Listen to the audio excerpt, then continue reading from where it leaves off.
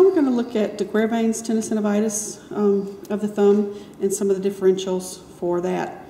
Um, so first of all, you can just do a simple palpation, or, or, actually probably the first thing I do is get the patient to take and point their finger and show me where their pain typically is. And with de Quervain's, you're expecting really sharp, startling pain when they um, grip or try to pick up something a certain way.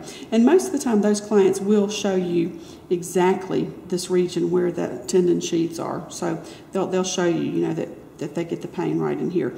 If they're showing you a more pinpoint area, that might be uh, a red flag for uh, CMCOA of, of, the thumb if the pain were here. But you can palpate. The literature usually will say that you might see uh, swelling or redness here. I, I, really don't usually see uh, any, any type of swelling, uh, but you can palpate this area.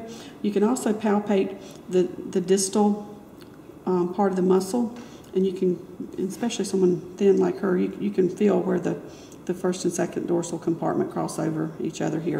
And then you can palpate all the way down to those distal insertions of those tendons.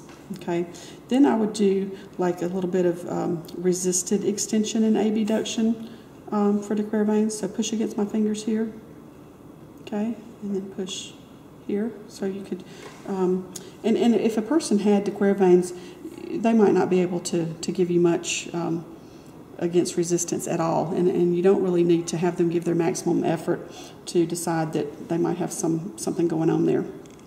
Um, uh, you could also rule out um, radial sensory nerve, so you could again do your Tinel's here in this area versus more of a palpation and a grind for OA.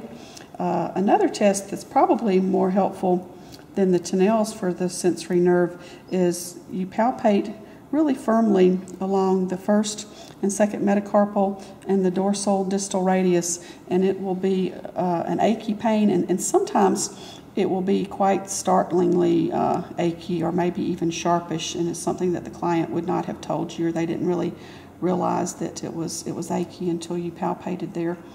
Um, you kind of want to be careful that you don't roll these two muscles because that'll give some discomfort. But, um, but firm palpation along the first and second metacarpal and the dorsal distal radius is a, um, a sign for the sensory branch of the radial nerve. And so again, you're looking for achy pain, but it, it could be fairly startlingly sharp um, there. So then, uh, finally, I'm going to um, move towards my, my Finkelstein's.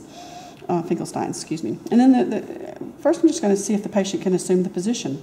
Uh, if they cannot assume the position or if they're really reluctant to do so, then I would go ahead and mark a positive Finkelstein's. You don't need to um, cause unnecessary pain.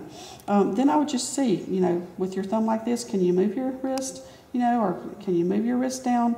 And again, sometimes, you know, they'll assume the position, but they, they put the slack on it and they don't want to move their wrist down.